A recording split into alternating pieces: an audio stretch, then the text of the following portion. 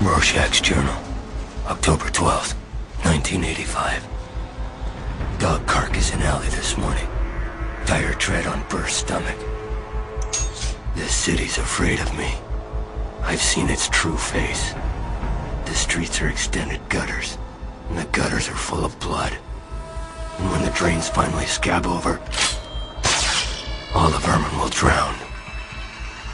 The accumulated filth of all their sex and murder will foam up around their waists. And all the whores and politicians will look up and shout, Save us. And I'll whisper,